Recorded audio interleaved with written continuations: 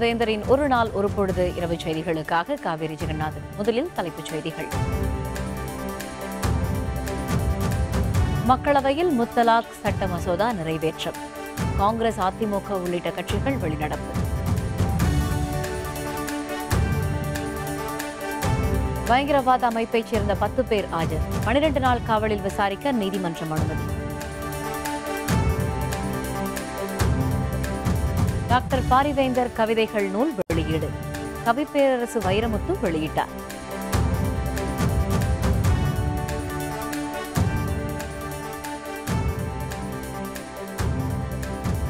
கர்ப்பிணிக்கு HIV தொற்று ரத்தம் செலுத்தப்பட்ட விவகாரம்.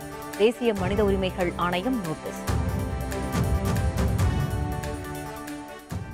முத்தலாக் தடை சட்ட மசோதாவை நாடாளுமன்ற தேர்வுக்குழுவிற்கு அனுப்ப வேண்டும் என்று அதிமுக கோரிக்கை விடுத்துள்ளது. முத்தலாக் தடை சட்ட முன்வரைவு மீதான விவாதம் மக்களவையில் இன்று நடைபெற்றது. அப்போது பேசிய மத்திய சட்டத்துறை அமைச்சர் ரவிசங்கர் பிரசாத் பெண்களின் நலன் கருதியே முத்தலாக் தடை சட்ட முன்வரைவு கொண்டுவரப்பட்டுள்ளதாக தெரிவித்தார். எந்த மதத்தினருக்கும் எந்த ஒரு நம்பிக்கைக்கும் எதிரானது அல்ல என்றும் அவர் குறிப்பிட்டார்.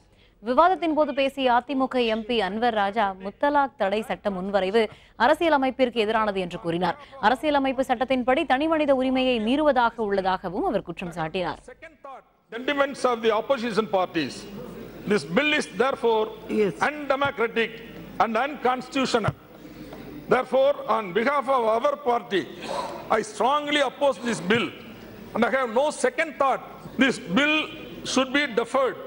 Otherwise, it should be referred to the Parliamentary Standing Committee for the correction and incorpora- incorporating the views of our party. இதனிடையே முத்தலாக் தடை சட்ட மசோதா மீதான வாக்கெடுப்பு மக்களவையில் நடைபெற்றது. இதற்கு எதிர்ப்பு தெரிவித்து காங்கிரஸ் அதிமுக சமாஜ்வாதி உள்ளிட்ட எதிர்க்கட்சியினர் வெளிநடப்பு செய்தனர். சுமார் ஐந்து மணி நேரம் நடைபெற்ற காரசார விவாதத்திற்கு பிறகு முத்தலாக் தடை மசோதா குரல் வாக்கெடுப்பு மூலம் நிறைவேற்றப்பட்டது. மசோதாவிற்கு ஆதரவாக இருநூற்று நாற்பத்தைந்து பேரும் எதிராக பதினோரு பேரும் வாக்களித்தனர். முத்தலாக் தடை மசோதாவில் திருத்தங்கள் மேற்கொள்ள வேண்டும் என்ற எதிர்க்கட்சிகளின் கோரிக்கைகள் நிராகரிக்கப்பட்டன. தில்லியை தாக்க திட்டமிட்டதாக கைது செய்யப்பட்ட பயங்கரவாத அமைப்பினர் பத்து பேரை பனிரெண்டு நாட்கள் காவலில் எடுத்து விசாரிக்க தில்லி கூடுதல் அமர்வு நீதிமன்றம் அனுமதி அளித்துள்ளது. நாட்டின் பல்வேறு பகுதிகளிலும் தொடர் குண்டுவெடிப்புகளை நிகழ்த்தவும் முக்கிய தலைவர்களை கொலை செய்யவும் பயங்கரவாதிகள் தீட்டியிருந்த சதித்திட்டத்தை தேசிய புலனாய்வு அமைப்பு முறியடித்துள்ளது. இது தொடர்பாக தில்லி மற்றும் உத்தரப்பிரதேசத்தைச் சேர்ந்த பத்து பயங்கரவாதிகளை கைது செய்தது. அவர்களிடமிருந்து ராக்கெட் லாஞ்சர்கள் கைத்துப்பாக்கிகள் செல்போன்கள் உள்ளிட்டவை பறிமுதல் செய்யப்பட்டன. கைது செய்யப்பட்ட பத்து பேரும் பலத்த பாதுகாப்புடன் தில்லி கூடுதல் அமர்வு நீதிபதி அஜய் பாண்டே முன்பு ஆஜர்படுத்தப்பட்டனர். அவர்களிடமிருந்து பல்வேறு தகவல்களை பெற வேண்டியிருப்பதால் பதினைந்து நாள் காவலில் விசாரிக்க என்ஐஏ தரப்பில் அனுமதி கோரப்பட்டது. எனினும் பத்து பேரையும் பனிரெண்டு நாட்கள் காவலில் விசாரிக்க தேசிய புலனாய்வு அமைப்பிற்கு நீதிமன்றம் அனுமதி அளித்துள்ளது. இந்திய ஜனநாயக கட்சியின் நிறுவனர் தலைவரும் எஸ்ஆர்எம் பல்கலைக்கழக நிறுவனர் வேந்தருமான டாக்டர் பாரிவேந்தர் எழுதிய பாரிவேந்தரின் கவிதை தொகுப்பு நூலை கவிப்பேரரசு வைரமுத்து வெளியிட்டு சிறப்பித்தார். டாக்டர் பாரிவேந்தர் எழுதிய பாரிவேந்தர் கவிதைகள் நூல் வெளியீட்டு விழா சென்னை கிண்டி ரமாடா பிளாசா ஹோட்டலில் உள்ள வேந்தர் அரங்கத்தில் தற்பொழுது நடைபெற்று வருகிறது. இந்த விழாவில் சிறப்பழைப்பாளராக எஸ்ஆர்எம் குழும சேர்மன் ரவி பச்சமுத்து பங்கேற்றுள்ளார். தமிழ் மொழியை காக்கவும் தமிழ் அறிஞர்களை ஊக்குவிக்கவும் டாக்டர் பாரிவேந்தர் பல்வேறு உதவிகளை செய்து வருகிறார். அதன் அடிப்படையில் எஸ்ஆர்எம் பல்கலைக்கழகத்தில் தமிழ் பேராயம் என்ற நிறுவனத்தை நிறுவி தமிழ் மொழிக்காக பாடுபட்டு வரும் தமிழ் அறிஞர்களுக்கும் எழுத்தாளர்கள் மற்றும் தமிழ் ஆர்வலர்களுக்கும் தமிழ் பேராயம் சார்பில் விருதுகள் வழங்கி பாராட்டி வருகிறது. தமிழ் மொழி மீது டாக்டர் பாரிவேந்தர் வைத்துள்ள ஆர்வத்தின் கைவண்ணமாக பாரிவேந்தர் கவிதைகள் என்ற நூலை டாக்டர் பாரிவேந்தர் எழுதியுள்ளார். கவிதை நூலை கவி பேரரசு வைரமுத்து வெளியிட கவிஞர் சிலம்பொலி செல்லப்பன் பெற்றுக்கொண்டார்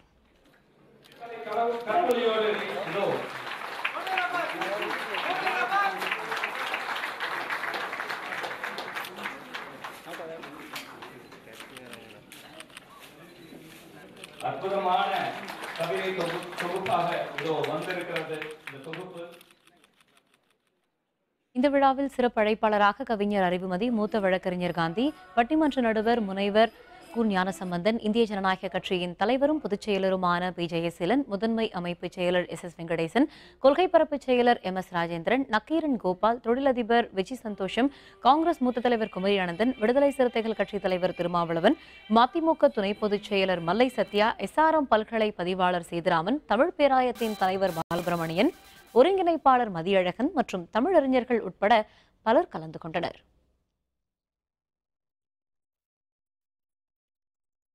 பொங்கல் பண்டிகைக்காக தமிழகம் முழுவதும் இருபத்தி நான்காயிரத்து எழுநூற்று எட்டு சிறப்பு பேருந்துகள் இயக்கப்படும் என்று போக்குவரத்து துறை அமைச்சர் எம் ஆர் விஜயபாஸ்கர் தெரிவித்துள்ளார். சென்னையில் செய்தியாளர்களுடன் பேசிய அவர் சென்னையில் இருந்து மட்டும் பதினான்காயிரத்து இருநூற்று அறுபத்தி மூன்று சிறப்பு பேருந்துகள் பொங்கல் பண்டிகைக்காக இயக்கப்படும் என்று கூறினார். ஜனவரி பதிமூன்று முதல் நான்கு நாட்களுக்கு சிறப்பு பேருந்துகள் இயக்கப்படும் என்றும் ஜனவரி ஒன்பதாம் தேதி முதல் முன்பதிவு தொடங்கும் என்றும் அவர் தெரிவித்தார்.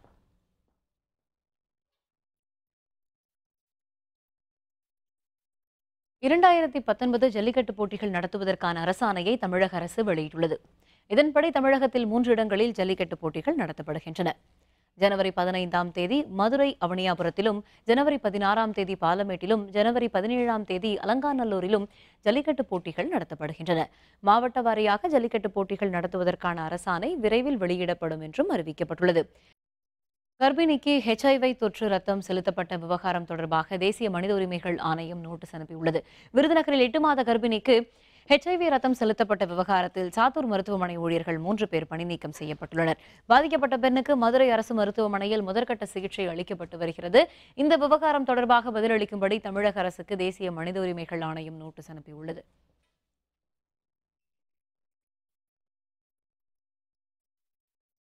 பாதிக்கப்பட்ட கர்ப்பிணியின் குழந்தைக்கு ஹெச்ஐவி பாதிப்பு இல்லாத வகையில் சிறப்பான சிகிச்சை அளிக்கப்படும் என மதுரை மருத்துவமனை முதல்வர் சண்முகசுந்தரம் தெரிவித்துள்ளார். மதுரையில் செய்தியாளர்களுடன் பேசிய அவர் கர்ப்பிணிக்கு சிகிச்சை அளிக்க ஒன்பது பேர் கொண்ட மருத்துவக் குழு அமைக்கப்பட்டுள்ளதாக தெரிவித்தார்.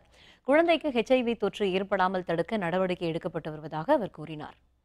கர்ப்பிணி பெண் நேற்று மாலை நான்கு மணி வாக்கில் நமது அரசு ராஜாஜி மருத்துவமனையில் அட்மிட் ஆகியிருக்கிறாங்க நேற்று மூன்று மருத்துவரை கொண்ட அந்த குழுவை இன்று ஒன்பது மருத்துவர் கொண்ட குழுவாக மாற்றி அமைத்துள்ளோம். ஹெச்ஐவி இருக்கு மட்டும்தான் இங்கே கண்டுபிடிச்சிருக்கிறாங்க. பல பரிசோதனைகள் மூலமாக விரிவாக பரிசோதனை செய்து அதற்குரிய மருத்துவம் செய்யப்படும். இதனிடையே ஹெச்ஐவி தொற்றால் பாதிக்கப்பட்ட பெண்ணிற்கு அளிக்கப்பட்டு வரும் சிகிச்சை குறித்து எய்ட்ஸ் கட்டுப்பாட்டு திட்ட இயக்குநர் செந்தில்ராஜ் ஆய்வு மேற்கொண்டார். பின்னர் செய்தியாளர்களுடன் பேசிய அவர் இனிவரும் காலங்களில் இதுபோன்ற தவறுகள் ஏற்படாத வகையில் கண்காணிப்பு தீவிரப்படுத்தப்படும் என்று தெரிவித்தார். பாதிக்கப்பட்ட பெண்மணி அவங்களையும் பார்த்தேன். அவங்க வீட்டுக்காரனையும் பார்த்தேன். ஸோ இன்ட்ராக்டட் வித் சிறந்த பெஸ்ட் ட்ரீட்மெண்ட் இப்போதைக்கு நம்ம கொடுத்துக்கிட்டு இருக்கோம் ஏஆர்டி மெடிசன் ஸ்டார்ட் பண்ணியிருக்கோம். இந்த பெஸ்ட் ட்ரீட்மெண்ட் இப்போதைக்கு போயிட்டு இருக்கு ஏஆர்டி மெடிசன்ஸ் கொடுக்கறதுனால வைரல் லோட் டெஸ்ட்டும் பண்ணியிருக்கோம். வைரல் லோட் சப்ரேஷன் பண்ணி குழந்தைய வந்து நல்லா இன்ஃபெக்ஷன் எதுவும் இல்லாமல் வந்து எடுத்துக்கிறது தான் முதல் ப்ரையாரிட்டி நாளை நடைபெறும் லோக் ஆயுக்தா தேர்வுக்குழு கூட்டத்தில் திமுக பங்கேற்காது என்று கட்சியின் தலைவர் மு க ஸ்டாலின் தெரிவித்துள்ளார். இது தொடர்பான தமிழக அரசின் கடிதத்திற்கு ஸ்டாலின் பதில் அனுப்பியுள்ளார். தற்போதைய லோக் ஆயுக்தா அமைப்பிற்கு ஆக்கப்பூர்வமான நடவடிக்கை எடுக்கும் அதிகாரம் இல்லை என்று தெரிவித்துள்ள ஸ்டாலின் ஊழல் புகார்களை விசாரிப்பதற்கு துணை செயலர் தலைமையில் விசாரணை குழு என்பது வலுவற்றது என்று குறிப்பிட்டுள்ளார். லோக் ஆயுக்தாவின் தேர்வுக்குழு கூட்டத்தில் பங்கேற்பது எந்த விதத்திலும் ஊழல் ஒழிப்பிற்கு உதவாது என்று கூறியுள்ள ஸ்டாலின் நாளை நடைபெறும் தேர்வுக்குழு கூட்டத்தில் பங்கேற்க இயலாது என்று தெரிவித்துள்ளார்.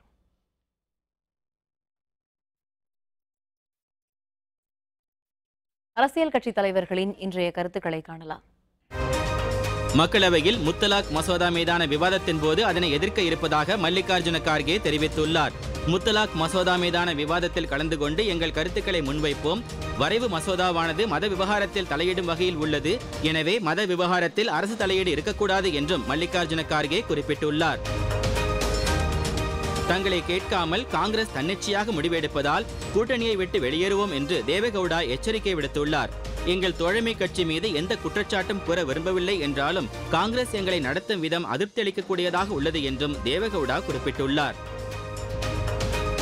மத்திய பிரதேசத்தில் தனது கட்சி எம்எல்ஏ அமைச்சராக்கப்படாததால் அதிருப்தியடைந்துள்ள சமாஜ்வாதி கட்சித் தலைவர் அகிலேஷ் யாதவ் உத்தரப்பிரதேசத்தில் அமையும் கூட்டணியில் காங்கிரசுக்கு வாய்ப்பு இல்லை என சூசகமாக கூறியுள்ளார். மேலும் இதற்காக காங்கிரசுக்கு நன்றி தெரிவித்துக் கொள்கிறேன் என்றும் குழப்பமான சூழ்நிலை தெளிவுபடுத்தப்பட்டுள்ளது என்றும் எங்களுடைய பணி எளிமையாகியுள்ளது என்றும் அகிலேஷ் யாதவ் தெரிவித்துள்ளார். ஆந்திர மாநிலம் குண்டூரில் நடைபெறும் பாஜக பொதுக்கூட்டத்திற்கு பிரதமர் மோடி வருகை தரும்போது எதிர்ப்பு தெரிவித்து போராட்டம் நடத்தப்போவதாக சந்திரபாபு நாயுடு தெரிவித்துள்ளார். ஆந்திராவுக்கு மாநில சிறப்பு அந்தஸ்து தர மறுக்கும் பிரதமர் மோடி எந்த முகத்தை வைத்துக் கொண்டு இங்கு வருகிறார் எனவும் சந்திரபாபு நாயுடு கூறியுள்ளார். சிறுத்தை புலி தாக்கியதில் மூன்று பேர் காயம். குண்டு வைத்து பிடிக்க நடவடிக்கை. விவரம் விளம்பர இடைவேளைக்கு பிறகு.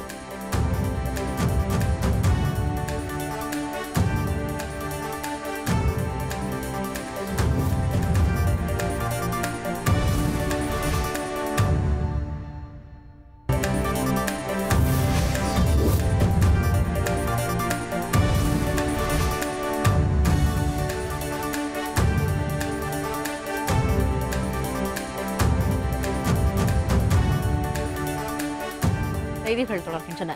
கஜா புயலால் பாதிக்கப்பட்ட மக்களுக்கு நிவாரணப் பொருட்கள் வழங்குவதில் முறைகேடு நடைபெறுவதாக கூறி திருவாரூர் அருகே கிராம மக்கள் சாலை மறியலில் ஈடுபட்டனர்.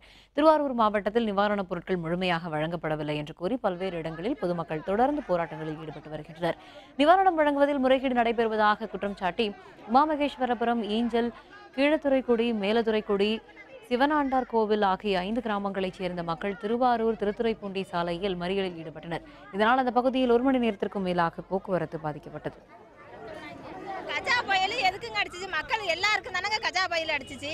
மாடி வீட்டுக்கு கிடையாதுங்கிறாங்க ஓட்டு வீட்டுக்கு கிடையாதுங்கிறாங்க கூரை வீட்டுக்கு மட்டும் உண்டுங்கிறாங்க. அது வந்து மாடி வீடு வச்சுக்கிறவங்க வந்து பத்து பேர் வந்து அதுல க- காவந்து பண்ணினாங்களே அப்ப வந்து அவங்களுக்கு தானே கொடுக்கணும்? இது வந்து நிவாரணம் வந்து எல்லாருக்கும் தான் வழங்கணும். வந்து முந்நூற்றி எண்பது வீடு இருக்குது முந்நூற்றி எண்பது வீட்டில் எந்த வீட்டுக்கும் நிவாரணம் வரல. இரநூத்தி பத்து வீட்டுக்கு நிவாரண பணம் வந்துச்சு. பாக்கி இப்போ வந்திருக்கிறது இரநூறு வீட்டுக்கு தான் பொருள் வந்திருக்கு. கேட்டால் அரசு ஊழியர்கள் இவங்களுக்கு தான் கொடுக்க சொல்லியிருக்காங்கன்னு சொல்லிட்டு ஸ்ட்ரைக் பண்ணுறாங்க எதை கேட்டாலும் எங்களுக்கு எந்த ஒரு தன்மானம் எதுவும் கிடையாது. எங்களுக்கு கவர்மெண்ட்டில் எந்த சலுகையும் எங்களுக்கு சேரல. எந்த பொருளுமே எங்கள் கைக்கு வரதில்லை சார். எல்லாம் அந்த கிளர்க்கு விஓ ஆர்ஐ தாசில்தார் அவங்கக்குள்ளே பேசிக்கிட்டு நாங்கள் கொடுக்குறதான்னு சொல்கிறாங்க எங்களுக்கு எந்த பொருளும் வரல. விளைநிலங்கள் வழியாக உயர் மின்னழுத்த கோபுரங்கள் அமைக்க எதிர்ப்பு தெரிவித்து போராட்டத்தில் ஈடுபட்டு வரும் விவசாயிகளுக்கு ஆதரவாக ஈரோட்டில் அனைத்து கட்சிகள் சார்பில் உண்ணாவிரத போராட்டம் நடைபெற்றது. திருப்பூர் ஈரோடு உள்ளிட்ட பதிமூன்று மாவட்டங்களைச் சேர்ந்த விவசாயிகள் இந்த திட்டத்தை ரத்து செய்ய வலியுறுத்தி கடந்த பத்து நாட்களாக தொடர்ந்து போராட்டத்தில் ஈடுபட்டு வருகின்றனர். விவசாயிகளுக்கு ஆதரவாக ஈரோடு மாவட்டம் மூலக்கரையில் திமுக காங்கிரஸ் உள்ளிட்ட பல்வேறு கட்சிகளைச் சேர்ந்த ஐநூற்றுக்கும் அதிகமானோர் உண்ணாவிரத போராட்டத்தில் ஈடுபட்டனர். விவசாய விளைநிலங்கள் வழியாக உயர்மின் கோபுரம் அமைத்து மின்சாரத்தை கொண்டு செல்வதற்கு திட்டமிட்டிருக்கிறார்கள். விவசாயிகள் இந்த திட்டத்தை எதிர்க்கவில்லை. மாறாக சாலையோரமாக கேபிள் வழியாக கொண்டு செல்ல வேண்டும் என்று கடந்த மூன்று வருடங்களாக நாங்கள் போராடி கொண்டிருக்கிறோம். இன்றைக்கு ஐந்தாவது நாளாக உண்ணாவிரத போராட்டம் நடைபெற்றுக் கொண்டிருக்கிறது. தமிழக அரசாங்கம் எங்களுடைய கோரிக்கையை நிறைவேற்றுவதற்கு எங்களுடைய சங்க பிரதிநிதிகளை பேசி அழைத்து நிறைவேற்றவன் முன்வர வேண்டும் என்று இந்த நேரத்தில் கேட்டுக்கொள்கிறோம். வேலூர் மாவட்டம் வாணியம்பாடி அருகே ஏரிக்கரையில் பதுங்கியுள்ள சிறுத்தை புலியை கூண்டு வைத்து பிடிக்க வனத்துறையினர் திட்டமிட்டுள்ளனர். வேலூர் மாவட்டம் வாணியம்பாடி அருகே உள்ள சின்னாங்குப்பம் ஊராட்சிக்கு உட்பட்ட பகுதியில் புதருக்குள் சிறுத்தை புலி பதுங்கியிருந்தது. அப்போது புதர் அருகே சென்ற பாரதி அலமேலு மற்றும் சந்தோஷ் ஆகியோரை சிறுத்தை புலி தாக்கியது. படுகாயமடைந்த மூன்று பேரும் வாணியம்பாடி அரசு மருத்துவமனையில் அனுமதிக்கப்பட்டுள்ளனர். புதருக்குள் பதுங்கியுள்ள சிறுத்தை புலியை கூண்டு வைத்து பிடிக்க வனத்துறையினர் முடிவெடுத்துள்ளனர்.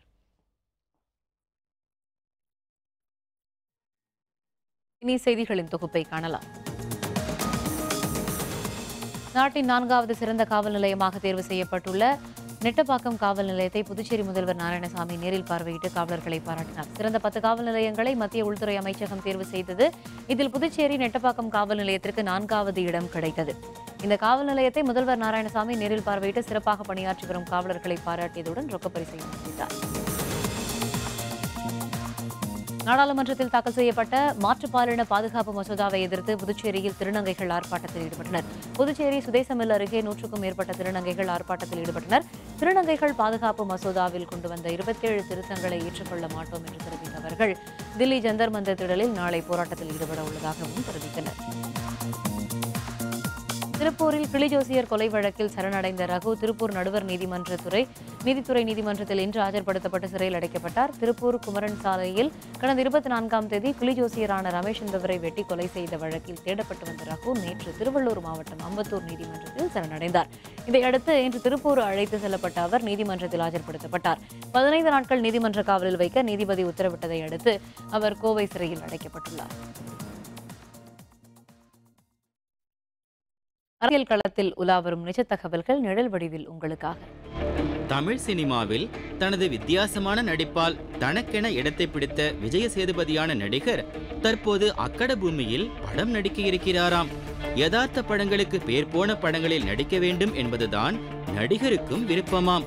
நடிகருக்கு ஜோடியாக மஞ்சுவாரியான நடிகை நடிக்க இருக்கிறாராம். தமிழ் போலவே மலையாளத்திலும் தடம் பதிக்க இருக்கிறாராம் விஜய நடிகர். கதர் கட்சியின் தேசிய அளவிலான கனவை மம்தாவும் அதனைத் தொடர்ந்து ராகுலான தலைவருக்கு ஆதரவு தெரிவித்த பிற கட்சிகளும் பின்வாங்க குழப்பத்தில் இருக்கிறதாம் கதர் கட்சி. சொந்த கட்சியில் மூத்த தலைகள் இருப்பதும் வாரிசுக்கு நெருக்கடியாக இருக்கிறதாம். இதனால் காவி கட்சிக்கு எதிராக வலுவான கூட்டணியை அமைத்து வெற்றி பெற வேண்டும் எனவும் அதற்காக எந்தவித சமரசத்திற்கும் தயாராக இருக்கிறதாம் கதர் கட்சி. ஆஸ்திரேலியாவுக்கு எதிரான மூன்றாவது டெஸ்ட் போட்டி. நானூற்று நாற்பத்தி மூன்று ரன்களுக்கு இந்தியா டிக்ளர். விவரம் விளம்பர இடைவேளைக்கு பிறகு.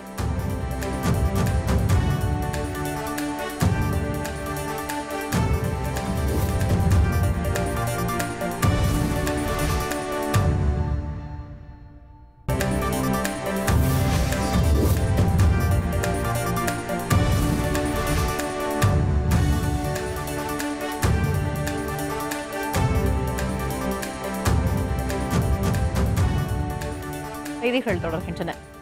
ஆஸ்திரேலியாவுக்கு எதிரான மூன்றாவது டெஸ்ட் போட்டியில் இந்திய அணி முதல் இன்னிங்ஸில் நானூற்று நாற்பத்தி மூன்று ரன்களில் டிக்ளேர் செய்தது. மெல்பர்னில் நேற்று தொடங்கிய மூன்றாவது டெஸ்ட் போட்டியின் முதல் நாள் ஆட்ட நேர முடிவில் இந்தியா இரண்டு விக்கெட் இழப்பிற்கு இருநூற்று பதினைந்து ரன்கள் எடுத்தது. புஜாரா அறுபத்தி எட்டு கோலி நாற்பத்தி ஏழு ரன்களுடன் இரண்டாவது நாள் ஆட்டத்தை தொடர்ந்தனர். சதமடிப்பார் என்று எதிர்பார்க்கப்பட்ட கோலி நாற்பத்தி எண்பத்தி இரண்டு ரன்களில் ஆட்டமிழந்தார் நிலைத்து ஆடிய புஜாராவும் நூற்று ஆறு ரன்களில் அவுட் ஆனார். நூற்று அறுபத்து ஒன்பது புள்ளி நான்கு ஓவர்களில் ஏழு விக்கெட் இழப்பிற்கு நானூற்று நாற்பத்தி மூன்று ரன்கள் எடுத்திருந்த போது இந்திய அணி டிக்ளேர் செய்தது இதனையடுத்து முதல் இன்னிங்ஸை ஆஸ்திரேலியா தொடங்கியது நேற்றைய இரண்டாம் நாள் ஆட்ட நேர முடிவில் எட்டு ரன் எடுத்துள்ளது ஹாரிஸும் ஃபின்ஸும் களத்தில் உள்ளனர் Beautiful delivery. playing the natural game. A shot though from Mahane. Nip back off the seam. Cummins now to Rohit Sharma, who survived and now cuts hard backward of point.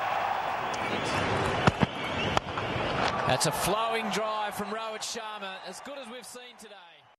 இனி தங்கம் வெள்ளி விலை நிலவரங்களை காணலாம் சென்னையில் ஆபரண தங்கத்தின் விலை சவரனுக்கு எண்பது ரூபாய் அதிகரித்து ஒரு சவரன் விலை இருபத்தி நான்காயிரத்து நூற்று முப்பத்தி ஆறு ரூபாயாகவும் ஒரு கிராம் தங்கத்தின் விலை மூன்றாயிரத்து பதினேழு ரூபாயாகவும் உள்ளது. வெள்ளி விலையை பொறுத்தவரை கிராமுக்கு எழுபது காசுகள் உயர்ந்து ஒரு கிராம் நாற்பது ரூபாய் தொண்ணூறு காசுகளாகவும் ஒரு கிலோ வெள்ளியின் விலை நாற்பதாயிரத்து தொள்ளாயிரம் ரூபாயாகவும் உள்ளது. மீண்டும் தலைப்புச் செய்திகள். மக்களவையில் ஐந்து மணி நேரம் நடைபெற்ற விவாதத்திற்கு பிறகு முத்தலாக் தடை சட்ட மசோதா குரல் வாக்கெடுப்பு மூலம் நிறைவேற்றப்பட்டது. பயங்கரவாத அமைப்பைச் சேர்ந்த பத்து பேரை பனிரெண்டு நாள் காவலில் விசாரிக்க நீதிமன்றம் அனுமதி அளித்துள்ளது.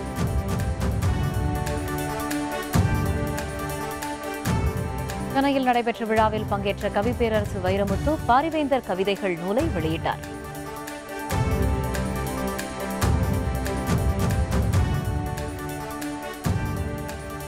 கர்ப்பிணிக்கு ஹெச்ஐவி தொற்று ரத்தம் செலுத்தப்பட்ட விவகாரம் தொடர்பாக தேசிய மனித உரிமைகள் ஆணையம் நோட்டீஸ் அனுப்பியுள்ளது. இத்துடன் வேந்தரின் ஒரு நாள் ஒரு பொழுது இரவு செய்திகள் நிறைவடைந்தன. வேந்தர் டிவி செயலியை பதிவிறக்கம் செய்து முக்கிய செய்திகளை நேர்கள் காணலாம். மீண்டும் இரவு பத்து மணிக்கு வேந்தரின் கணுரங்கும் வேளை இரவு செய்திகளை